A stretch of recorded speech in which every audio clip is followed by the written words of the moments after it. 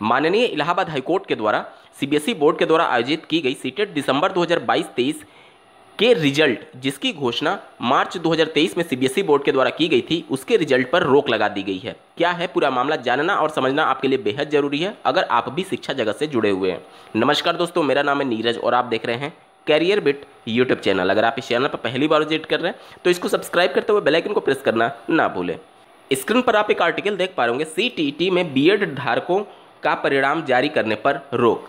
जैसा कि आपको ज्ञात होगा, माननीय इलाहाबाद हाईकोर्ट के द्वारा ही उत्तर प्रदेश में यूपी टेट के रिज़ल्ट पर भी रोक लगाई गई है, जिसके बाद से सचिव परीक्षा नियामक प्राधिकारी कार्यालय द्वारा एक पत्र जारी करते हुए सभी डाइट्स को उन्होंने अवगत कराया था कि माननीय इलाहाबाद हाईकोर्ट के फैसले के बाद से बीएड अभ्यर्थियों का रिज़ल्ट ना वितरित किया जाए और साथ ही साथ डीएलएड का भी अभी तक रिज़ल्ट वितरित नहीं किया गया है। यहाँ पर दोनों केस में कॉमन बात यह है कि दोनों के पिटिशनर्स एक ही हैं। श्री प्रतीक मिश्रा जी, जो कि यूपी टेट मामले में पिटिशनर्स थे, वहीं सीटेट मामले में भी उनके द्वारा ही याचिका दायर की गई है। आप एक बार आर्टिकल को जल्दी से पढ़ लीजिए। यहाँ पर देख सकते हैं कोर्ट ने कहा, जारी किया तो एसएलपी के फैसले के होगा अधीन। यानी कि जो भी माननीय सुप्रीम कोर्ट में अभी मामला विचाराधीन है बीएड अभ्यर्थियों की पात्रता के संदर्भ में, उस फैसले के अधीन हो जाएगा सीटेट का रिज़ल्ट। मतलब कि अगर रिज़ल्ट का प्रयोग किया जाता है किसी भी शिक्षक भर्ती में तो अगर इन केस एक परसेंट भी अगर मान लिया जाए कि बीएड के अगेंस्ट में फैसला दे देती है माननीय सुप्रीम कोर्ट तो फिर इन सभी अभ्यर्थियों का चयन निरस्त भी किया जा सकता है। इसका मतलब ये हुआ। एक बार जल्दी से पढ़ लेते हैं। इलाहाबाद हाईकोर्ट के ने केंद्रीय माध्यमिक शिक्षा बोर्ड यानी सीबीएसई को केंद्रीय शिक्षक पात्रता परीक्षा यानी सीटीईटी प्राथमिक स्तर 2022 में शामिल बीएड डिग्री धारकों के परिणाम जारी करने पर रोक लगा दी है। कोर्ट ने कहा कि बीएड डिग्री धारकों के परिणाम सुप्रीम कोर्ट में दाखिल विशेष अनुमति याचिका पर आदेश आने के बाद ही जारी किया जाए। यदि परिणाम जारी भी किया जाता है तो वह विशेष याचिका के आदेश के अधीन होगा। मामले में अब चार सप्ताह बाद सुनवाई होगी।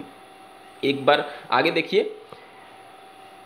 यह आदेश न्यायमूर्ति श्री आशुतोष श्रीवास्तव ने प्रतीक मिश्रा व अन्य की याचिका पर दिया है। याचिका में केंद्रीय शिक्षक पात्रता परीक्षा में बीएड डिग्री धारकों के परिणाम जारी करने पर रोक लगाने की मांग की गई थी।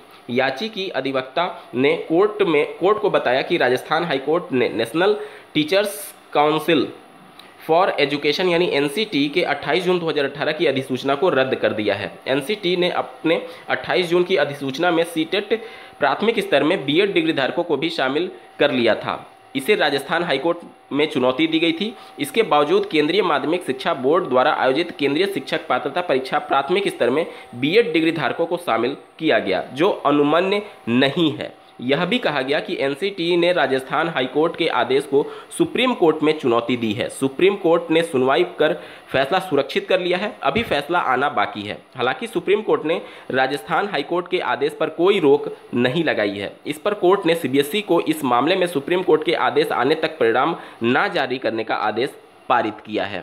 अब सबसे बड़ा सवाल ये आता है कि जैसे मान लीजिए बिहार में सातवें चरण की भर्ती होने वाली है तो उसमें बिहार में बीएड वाले अभ्यर्थी भी एलिजिबल हैं। तो क्या वो लोग आवेदन नहीं कर पाएँगे सीटेट के बेस पर बिल्कुल कर पाएँगे? यहाँ पर माननीय इलाहाबाद हाईकोर्ट ने स्पष्ट शब्दों में ये कहा है कि जो सीटेट का रिज़ल्ट अगर जारी भी हो गया है तो वो स्पेशल अपील जो की गई थी माननीय सुप्रीम कोर्ट में, उसके फैसले के अधीन होगा। यानी कि वो आवेदन तो कर पाएँगे, लेकिन सिर्फ़ अंतर ये हो जाएगा कि इन केस अगर सुप्रीम कोर्ट बीएड के अगेंस्ट में फैसला देती है तो भविष्य में वो भले ही चयन क्यों ना हो जाए, उनका चयन निरस्त कर दिया जाएगा। इसी प्रकार से डी ट्रिपल एसबी की भी वैकेंसी आनी है तो उसमें भी यही मामला देखने को मिलेगा।